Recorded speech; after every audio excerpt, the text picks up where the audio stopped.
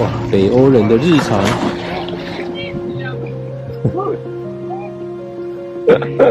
Amazing！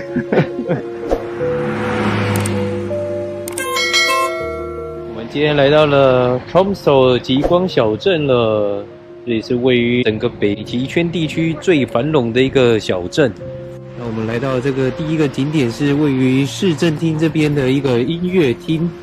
后面这个是音乐厅，它一直从西元十九世纪的时候就已经开始成立到现在了，然后一直活跃到二战前，都一直是有活跃的在运作中。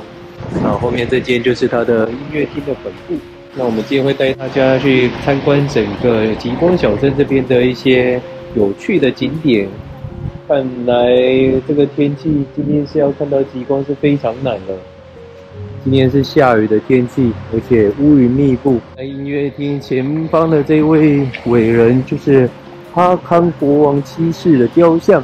这里就是丰首的天主教的教堂了。带大家来看一下挪威这边的教堂，跟别的地方的教堂有没有什么不一样的？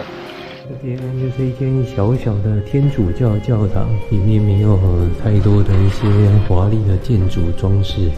只有一些简单的小故事，一些雕像。天花板这边有象征着挪威的鲑鱼，小小的一间教堂。从市政厅过来，这就是他们的公立图书馆，非常有现代感的设计的一间图书馆。进来参观一下北欧这边的图书馆。这边设施整个是开放式的。大家可以自由进出的，跟我们在芬兰的图书馆就不太一样了。这是比较现代感的一个建设，感觉是一间很活泼的图书馆，不会像一般的图书馆说在里面不能吵杂干嘛的。在这里可以比较轻松的阅读，在这里也有可以用电脑的地方，可以让你在这边做做报告啊，查资料。一样，这条路继续走下来，可以看到一间非常大间的纪念品店。里面有很多有趣的东西，看有棕熊啊，还有驯鹿，还有很多北欧神话的围巾小矮人。这间的矮人他是会动的，看一下这几个矮人睡得那么沉。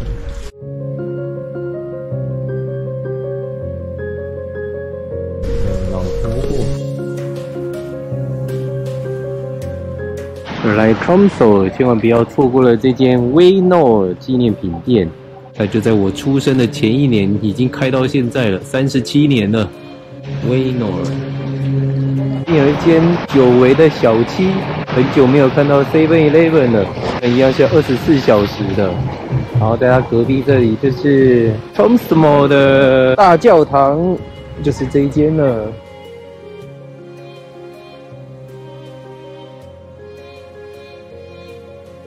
这间是十九世纪的木质大教堂。嗯，我们一走进来就闻到浓浓的这个块木的味道。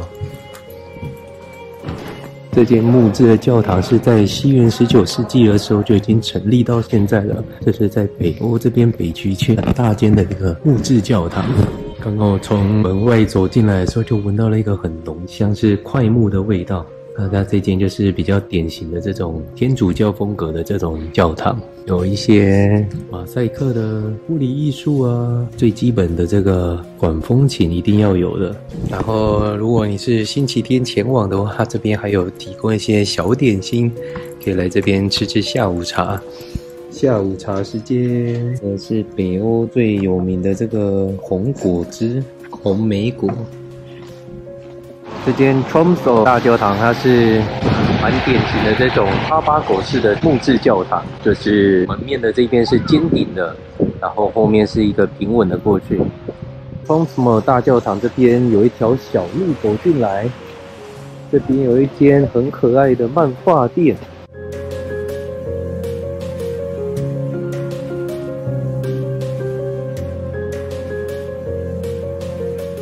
来带大家看一下这间可爱的漫画店。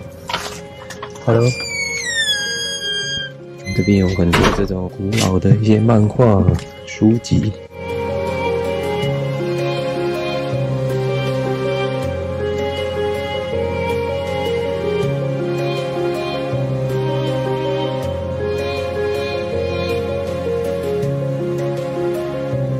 从大教堂继续往海边的方向走，就可以看到极地英雄阿蒙森的雕像了。这边非常多的这种大型的游轮，这可能就是那种环游世界的游轮，在这边停泊的。这边有一台、两台这种大型的游轮。沿着港湾一直走，就到了个停泊船只的港口了。有一些坐船的行程都可以在这边购买。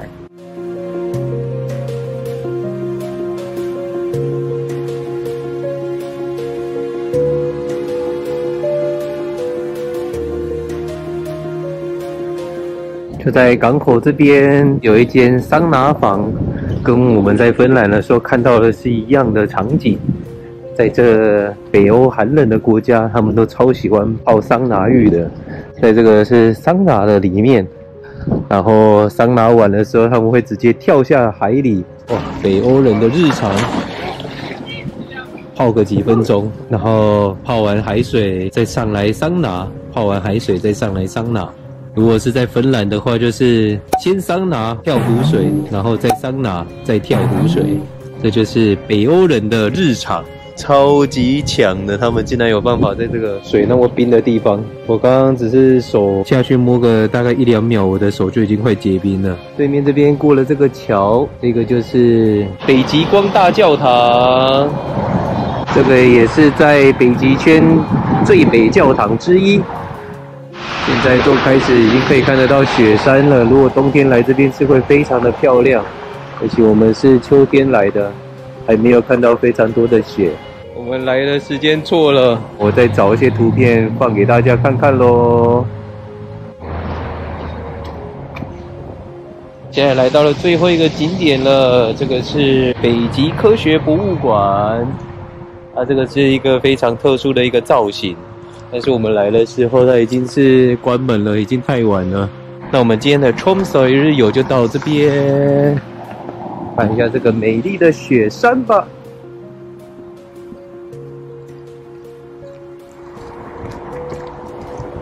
喜欢我们频道的朋友，麻烦帮我们按赞、订阅、加分享，以及开启小铃铛，日后会有更多有趣好玩的影片跟大家分享哦。Please like and subscribe，拜拜。